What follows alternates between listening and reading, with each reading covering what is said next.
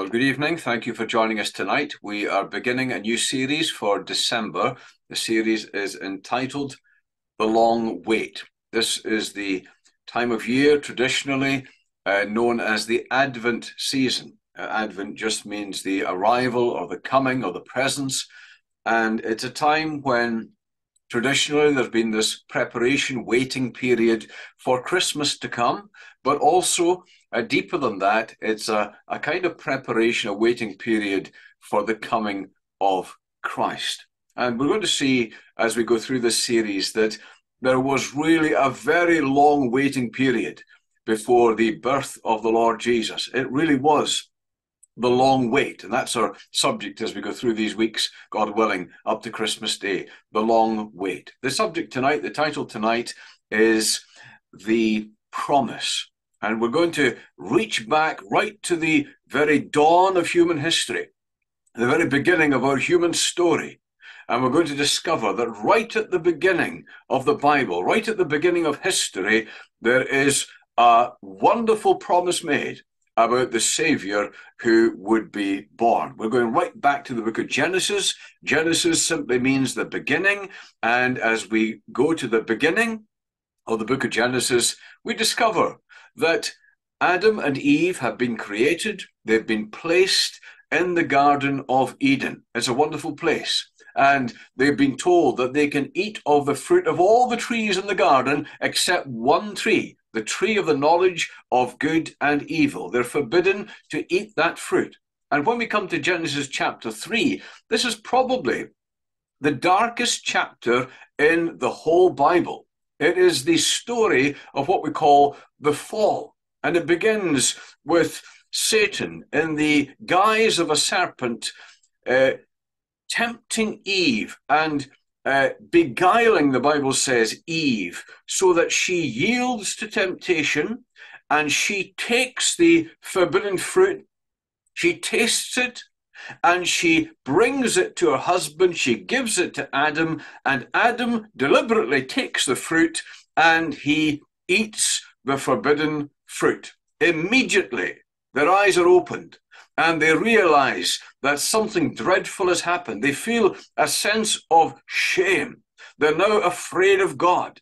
They realize that they're naked and they try to cover themselves. They hear God's voice as He comes to visit them in the garden, and they are terrified and they hide from God. They try to hide from God behind the trees of the garden. It really is a dreadful, dark chapter. And it tells us that they cannot hide from God, and God uh, brings them face to face with the consequences of their actions. They've crossed a boundary line, they've crossed a red line, they have committed a sin, uh, they've disobeyed God. And the Bible tells us that by one man, sin came into the world and death by sin. And so the entire human race now is plunged into a catastrophe because of what happened in Genesis chapter 3, the fall of Adam and Eve, the sin that they committed. And we discover that when God confronts Adam and Eve, the blame game begins. And so Adam says, Well, it wasn't really me, it was it was the woman you gave me. And then when the Lord turns to the woman, the woman says, Well, it was the serpent who fooled me and cheated me and, and beguiled me, and, and, and so I ate. And so everyone's blaming everyone else. But God addresses the three parties. He addresses Adam, he addresses the woman, and he addresses Satan in the form of the serpent. And that's what we're going to read about in Genesis chapter 3, verse 15. The Lord is speaking to the serpent. He's really speaking to Satan. And this is what he says I will put enmity, I will put hatred between you and the woman, between your seed and her seed. He shall bruise, he shall crush your head, and you shall bruise his heel. Amen. Now, this is a wonderful statement. We have to look at this in some detail because in this sentence, in this verse, there is contained the first gleam of hope in the darkness of sin that has come crashing into the world through Adam and Eve's actions. And so this is the first mention, the first hint that there is a coming deliverer who's going to reverse all the damage that sin has done. We need to look at this closely. There is a hope here, and mankind is going to cling to this hope throughout the coming centuries until God fulfills the promise he makes. I'm going to think about this in, in three ways. I want to think about three things that are contained in this wonderful promise right at the beginning of time. The first thing is this that the coming Savior, the coming deliverer, will be the seed of the woman. Secondly, that this coming Savior will crush Satan's head. And thirdly, he will be bruised himself in the process. So let's think about these things because this is vitally important. Here is really where it all begins. In fact, uh, the theologians talk about this as a kind of pre evangelism. This is the first mention that there is going to be a savior, that there is going to be a deliverer from sin, from the disaster, the catastrophe that is just broken on humanity. There is going to be a coming savior. And first of all, God promises this He will be the seed of the woman. Now, you might think, well, that doesn't seem to be very important. I don't really know what that means. Dear friends, that is one of the most important statements in the Bible. It simply means this that the coming Savior, God says, who will reverse all this, who will deliver mankind, who will bring salvation, he will not have a natural father. He will be the seed of the woman. Now, this is very important because in the Bible, when this expression is used, the seed of or uh, the descendant of, it always refers to the man. So we discover the Bible talks about Abraham's seed. It talks about Jacob's seed. It talks about David's seed. It's talking about their descendants, those who come from them. But in this occasion only, God talks about the woman's seed. In other words, when this deliverer, when this Savior comes, there will be no human father. He will not have a human father. He will not have a natural father. He will have a human mother. He will have a natural mother, and he will be the seed of the woman. Well, it's interesting. If you continue reading Genesis, in the next, the very next chapter, Eve gives birth to a son.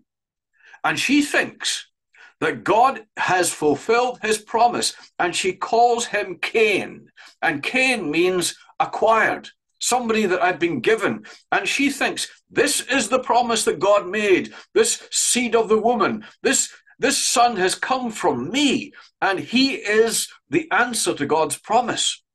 Well, she very quickly, I suspect, discovered that Cain was a sinner, just like every other child that would be born and the sinful nature that Adam and Eve now had has been transferred, has been transmitted, and she is disappointed to discover that this is not the man, this is not the seed of the woman.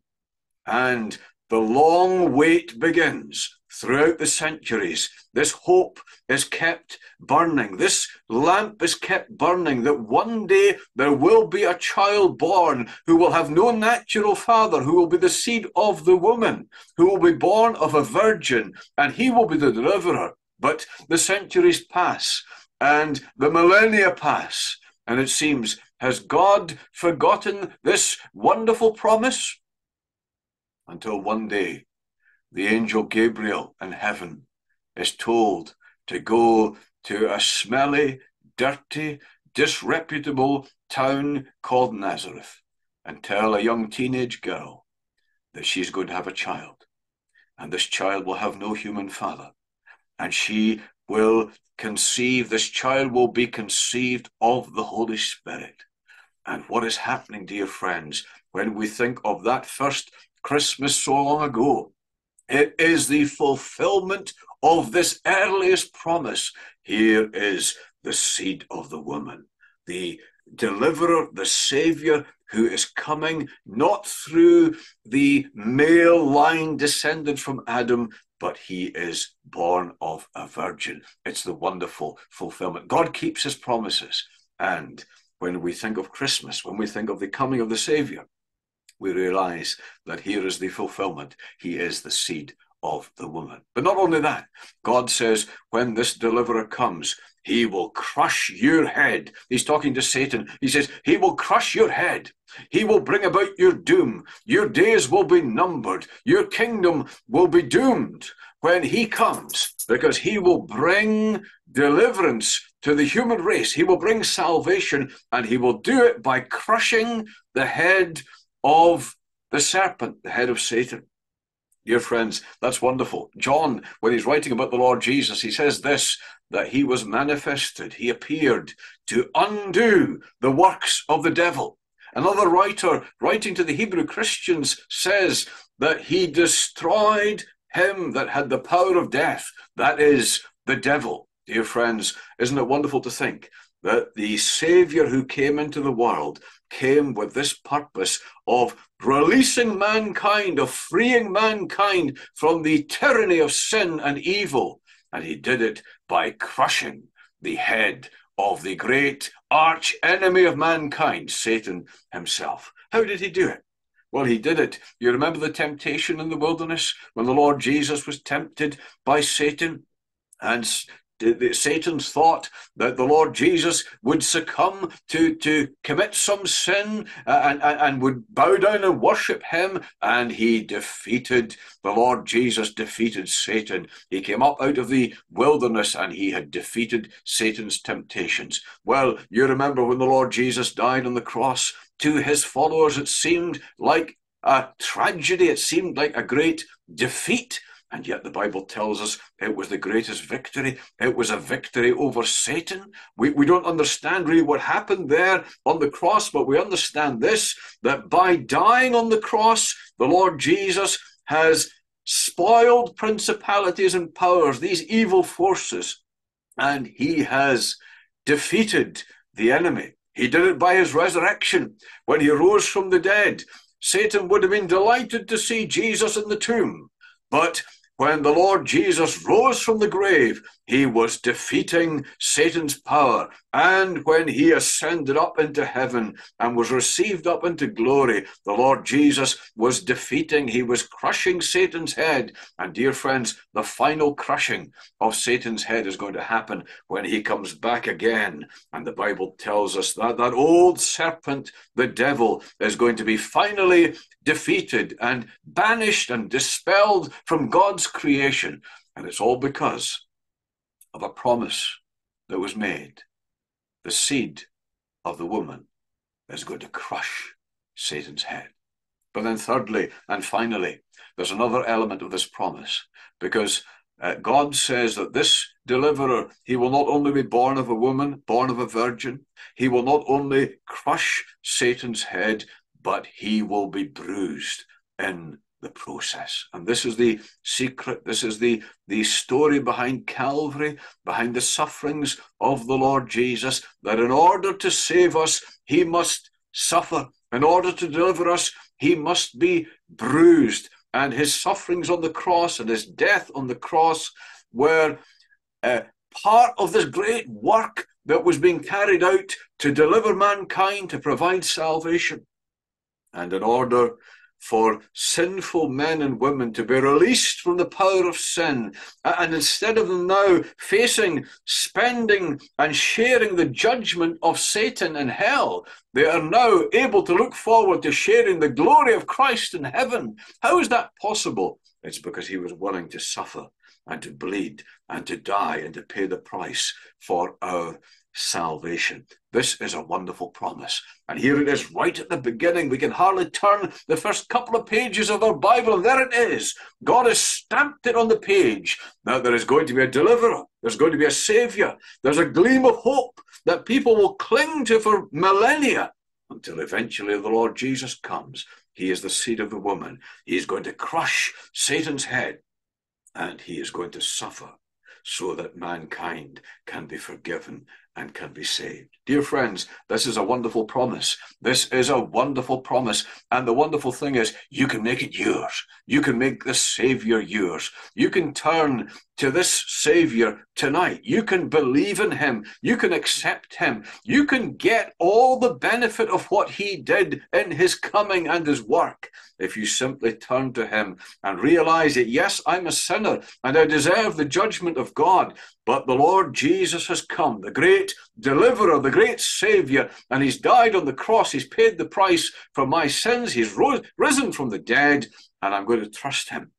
I'm going to believe in Him. I'm going to accept Him as my Savior. And if you do that, dear friends, the promise will be coming true in your life the great promise that God made so long ago at the very dawn of history.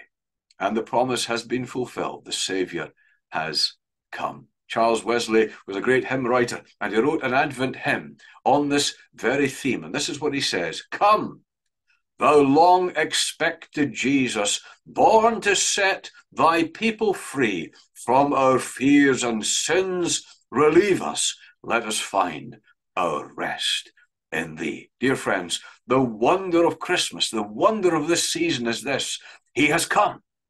The deliverer has come. He has crushed Satan's head. He suffered on the cross so that we might be saved. And if we simply turn to Him, we'll discover the true meaning of Christmas and all the wrong that has been done and all the evil that has been in our lives as a result of the fall, as a result of sin, will all be reversed and instead of dreading the judgment of God and dreading the presence of God, we can look forward to the glory of God and spending eternity with God in heaven, all because the promise that God made was fulfilled. Let's pray. Father, we give thanks for this wonderful promise given to man at the very beginning of history. We thank thee for the Lord Jesus, his coming the wonder of his birth, the reason why he came, his triumph at the cross, his sufferings, so that we might be saved. And we pray that somebody listening to this tonight may realize that this was for me, that he did it for me, and that they may simply turn to him and believe on the Lord Jesus. We pray for thy blessing in his name. Amen.